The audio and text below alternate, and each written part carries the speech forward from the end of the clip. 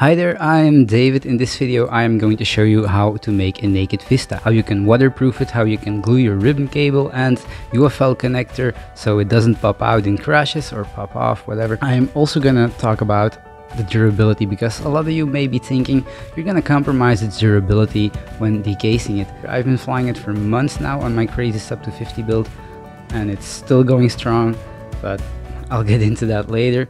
So first of all, I'm going to take out the Caddx Vista from the GEPRC Cinelog 25 I got right here, which just weighs a little bit too much in my opinion. I want to shed some more weight from the drone so I can fly longer, get a better flying experience. So first we're gonna remove the screws that hold the bottom plate to the drone on your drone. This may be different.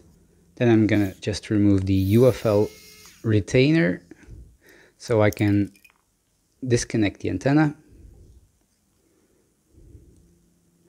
Next time I'm going to desolder it just to make it a little bit more easy to work on. Now, I've taken a picture of how the wires go in. You can always check the manual, but yeah, I think it's just easy if you can look at the picture and I'm gonna start from right because I am right-handed.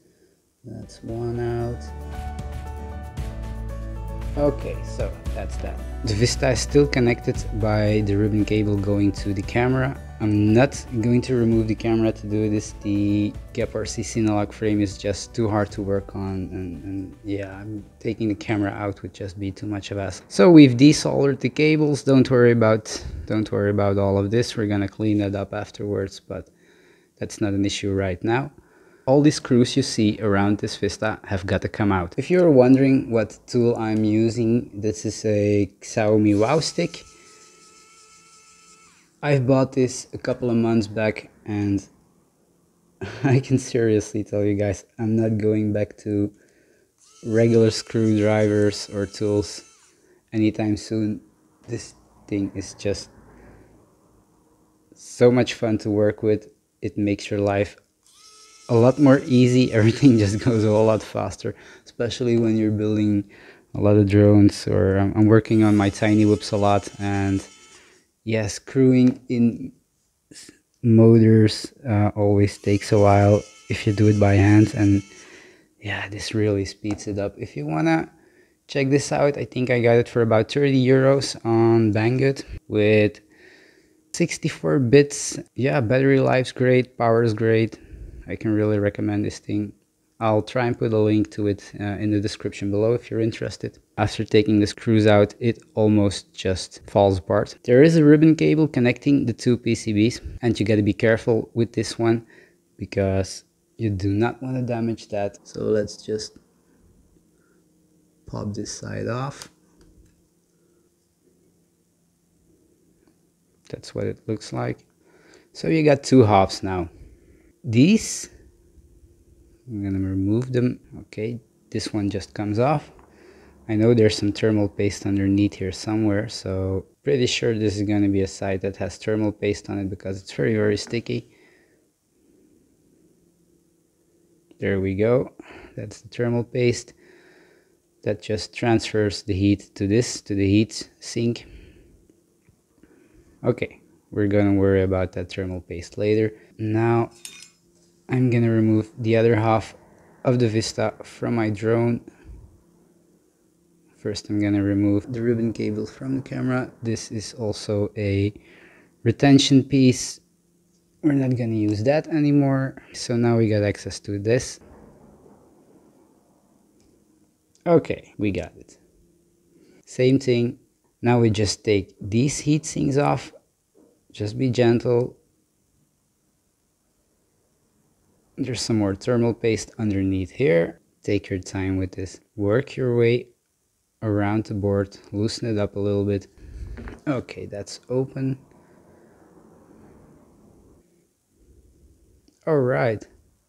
So now we got thermal paste on both sides. Don't let any thermal paste get into these connectors. The next step, we want to remove the thermal paste.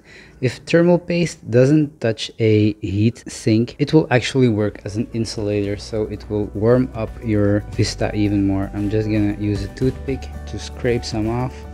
Again, be careful not to get anything into connectors I'm just going to try and get as much of it off as I can.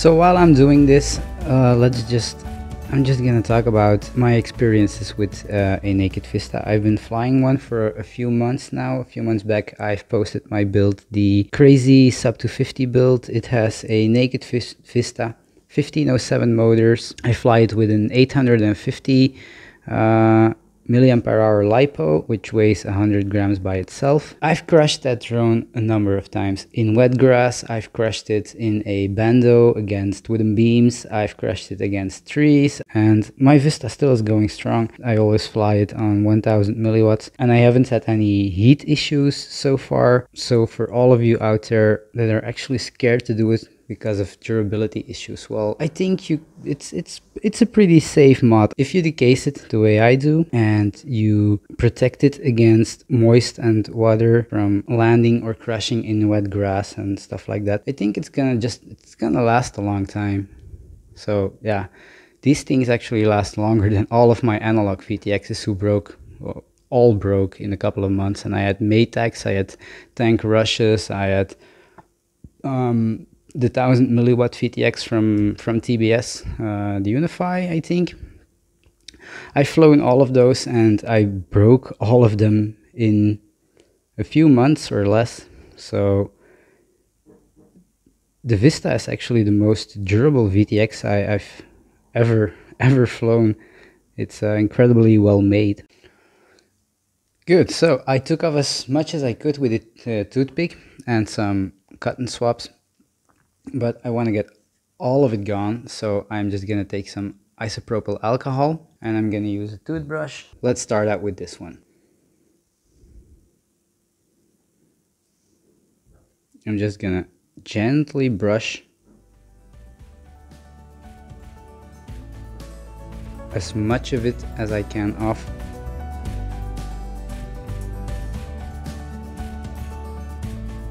I'm not using a lot of force here. If you get some on the um, some of the isopropyl alcohol into the connectors, don't worry, it'll just evaporate. It doesn't matter. Just don't get any thermal paste in there. And you can see it getting cleaner. You could use a little bit of tape to cover these if you want to be extra careful. It's starting to look pretty good. Add a little bit more alcohol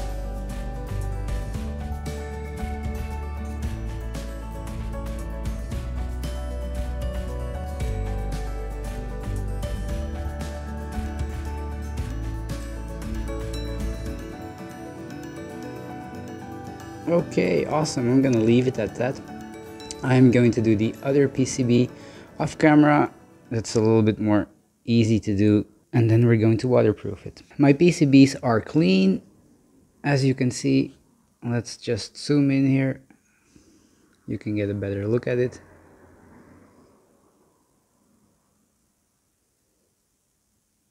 It took me a while, but yeah, you just have to go easy. I've already cleaned up the solder pads. Now it's easy to work on when everything is apart, so that's a good time to do it. Let's go on to the next step, and that's protecting it from moist and water and yeah, when landing on wet grass or crashing in wet grass. I use nail polish to do this. A friend of mine uses uh, Plastidip. There's a lot of ways you can do this. I use nail polish, you can see through it, so if you ever need to solder to anything, you can actually find the path you want to solder to easily, and you can solder through it. It's also electronic safe. Anyways, shake before use. I'm just gonna apply this on all of the electronic components except the solder pads because I'm still gonna need to be soldering to them afterwards and it's easier to solder when there's no nail polish on them yet. So I'm gonna wait doing these. And of course you cannot nail polish these or they will stop working. A thin layer is, is really all you need. You don't need to put a whole lot on there. Okay, that's one side done. Now the other side. So you get the idea, you just go around the entire board like that. Only the, uh, the electrical components, you do not have to waterproof the sides or anything like that. I'm just gonna keep doing this for a little while and when it's done I am going to come back to you. Okay, so both of the PCBs are nail polished. I'm just gonna give it a few minutes. I put my little fan on there so it can dry. And when it's dry, we are going to put it back together and back into our GEPRC Cinelog 25. And I'm gonna show you how much weight we actually lost by doing this. You know what? Let's weigh it first. Let's see how much weight we actually lost. I've already put the case back together again with all of the screws and the retainers. It's even got the thermal paste inside of it. The heatsink by itself or the case weighs, wow, that's 9.75 grams. That's quite a lot. And with the two PCBs and the ribbon cable, we got 17.8 grams roughly. So we're gonna take away the heatsink and of course I'm gonna need some spacers and a few rubber washers to mount it. So I'm gonna add those. That's a total weight of 8.6 grams okay so let's mount it in your case it might be a little bit different because you're gonna mount your Vista directly to your frame on the Cinelog 25 this bottom plate comes off and you have to mount the Vista to that. I've already sorted out my direction. This is going to be how this is going to be put into the drone. So this is my bottom side. I'm to take that into account when putting it back together. So that's our bottom plate. And as you can see by adding those washers, I really got a lot of space for air to pass through there and to get some really good cooling. Now this is the connector for the ribbon cable from the camera, so that's gonna go have to go in next, because afterwards it's going to be very difficult to be able to reach it. Make sure it's all the way down, it's seated correctly. Okay, that's nice. We got it. It's all the way down. To prevent these from popping out in a crash, I use Antenna glue. I don't use hot glue because VTXs, they warm up and if your hot glue warms up, yeah, you know.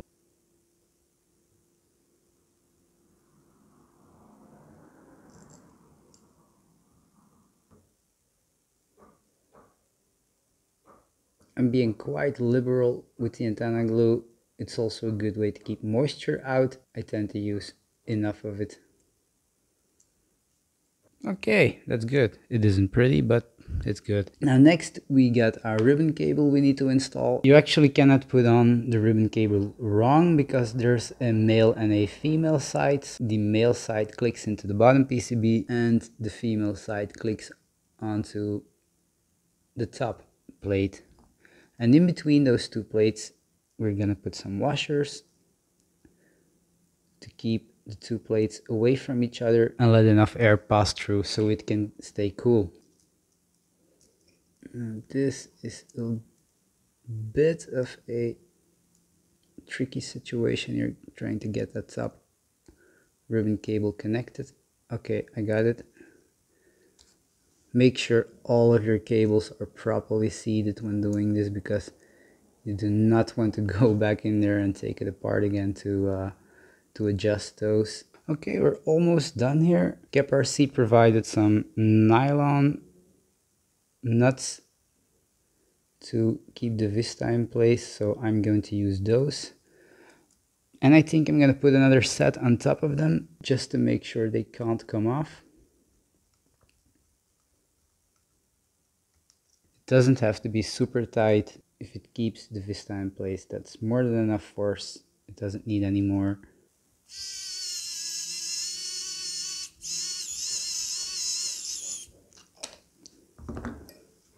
Okay, so that's on. Now before I'm gonna do anything else, I'm just gonna test the Vista. If everything works, I'm going to add some antenna glue to these ribbon cables from the side, just like that. And that'll be enough to prevent them from popping off. Guys, I've got some great news. I just tested everything and it still works. So now we can apply some antenna glue to the ribbon cable connectors and the UFL connectors so they stay in place. And then I guess it's ready to be put back inside the drone and fly it. But while I do that, let's just take a look at the weight I started with and where we ended up. Now that's a pretty decent weight loss, isn't it?